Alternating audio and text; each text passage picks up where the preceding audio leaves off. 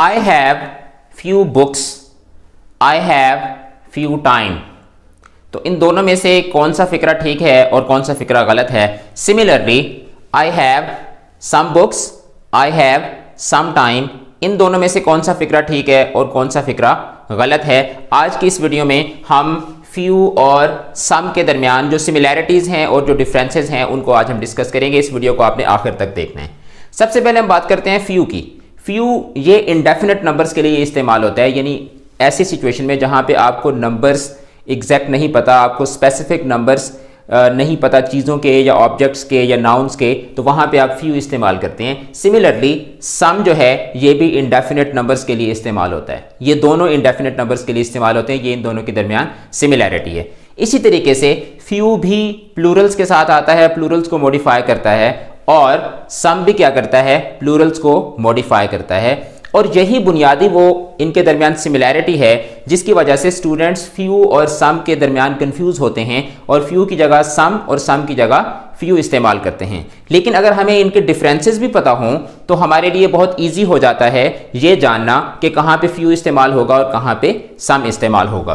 तो सबसे पहले हम देखते हैं कि फ्यू काउंटेबल नाउंस के साथ इस्तेमाल होता है, यानी ऐसे नाउंस जिनको आप काउंट कर सकते हैं। उनके साथ फ्यू आप इस्तेमाल करते हैं। जैसे आई हैव फ्यू बुक्स तो बुक्स क्या है? एक काउंटेबल नाउन है तो आपका ये वाला सेंटेंस क्या होगा? ठीक होगा। जबकि, जब आप कहते हैं कि आई हैव फ्यू टाइम तो ये आपका सेंटेंस ठीक नहीं होता, क्योंकि टाइम जो है ये एक काउंटेबल नाउन नहीं है। जबकि, अगर हम सम की तरफ़ आते हैं तो सम जो है ये काउंटेबल और अनकाउंटेबल नाउन्स दोनों के लिए इस्तेमाल होता है। इसलिए, अगर हम कहते हैं कि आई हैव सम बुक्स तो ये सेंटेंस भी आपका ठीक होगा। और अगर आप कहते हैं कि आई हैव सम टाइम तो ये सेंटेंस भी आपका क्या होगा? ठीक होगा। अब इनके दरमियान जो दूसरा डिफरेंस है, बुनियादी डिफरेंस वो क्या है? कि few less than five numbers के लिए इस्तेमाल होता है। अगर कहीं पे फ्यू का वर्ड यूज़ हुआ हुआ है नाउन्स के साथ या ऑब्जेक्ट्स के साथ तो इट मीन्स कि वो चीज़ें वैसे तो इंडेफिनिट हैं। It can be three it can be four okay but it will be less than five okay जबकि सम जो है ये फाइव और अबव के लिए यूज़ होता है, ठीक है?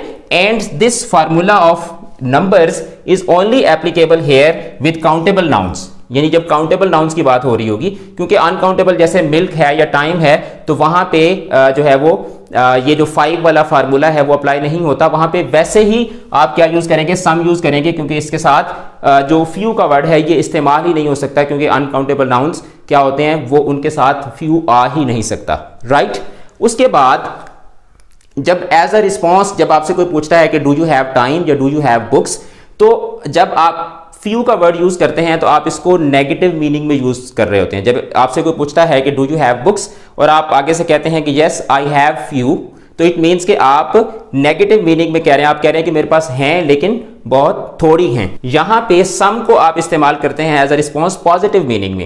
यानी अगर आपसे कोई पूछता है कि डू यू हैव बुक्स और आप आगे से कहते हैं कि यस आई हैव सम तो इट मीन्स कि आप ये कहना चाह रहे हैं कि जी, मेरे पास कुछ हैं और आपका जो रिस्पॉन्स होगा वो क्या होगा? वो पॉजिटिव वे में होगा।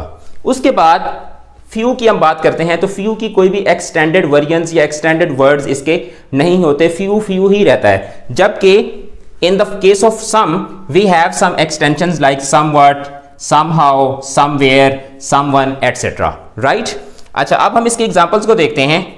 I have some minutes right sentence आपका ठीक है ठीक है? Because you are talking about countable noun minutes को हम काउंट कर सकते हैं two minutes three minutes five minutes लेकिन जब आप, कोई आदमी आपको कहेगा कि आई हैव सम मिनट्स तो actually he is saying that he has minutes and those minutes are five और मोर देन फाइव लेकिन जब कोई आदमी आपको कहता है कि आई हैव फ्यू मिनट्स तो आपको समझ आना चाहिए कि उसके पास कितना टाइम है? उसके पास पाँच से कम मिनट्स हैं, उसके पास फोर मिनट्स हैं या थ्री मिनट्स हैं. Right right? अच्छा आई हैव सम मिल्क तो यहाँ पे मिल्क क्या है? अनकाउंटेबल नाउन है। तो उसके साथ अगर आप सम इस्तेमाल करते हैं तो आपका सेंटेंस ठीक होगा। लेकिन अगर आप कहते हैं कि आई हैव फ्यू मिल्क तो फ्यू के साथ कभी भी अनकाउंटेबल नाउन नहीं आता और ये सेंटेंस आपका क्या होगा? गलत हो जाएगा। तो इस तरीके से आपने सम और फ्यू के दरमियान जो डिफरेंसेस हैं, उनको आपने माइंड में रखना है और उसी के अकॉर्डिंग ही इनको इस्तेमाल करना है। आई होप कि इसके बाद आप फ्यू और सम के दरमियान डिफरेंस भी कर सकेंगे और इनको लैंग्वेज के अंदर सही तरीके से इस्तेमाल भी कर सकेंगे। अगर आपको ये वीडियो अच्छी लगी है तो आप इसको लाइक ज़रूर करें, इस चैनल को सपोर्ट करें। थैंक यू सो मच अल्लाह हाफिज़।